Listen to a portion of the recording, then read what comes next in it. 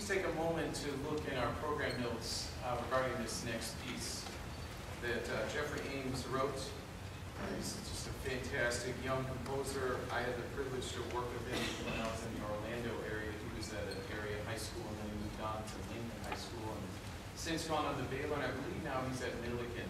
Um, He got his doctorate and has continued on.